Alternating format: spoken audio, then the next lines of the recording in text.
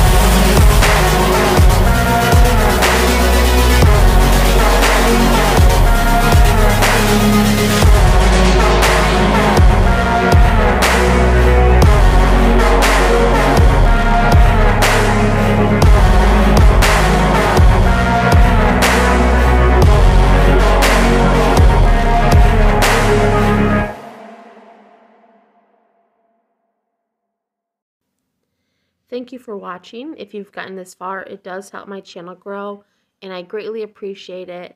Um, and that's why I can continue to do these patterns and give them for free on here. Um, once again, if you want the written pattern, it is on Ravelry. And thank you so much for watching and have a wonderful day.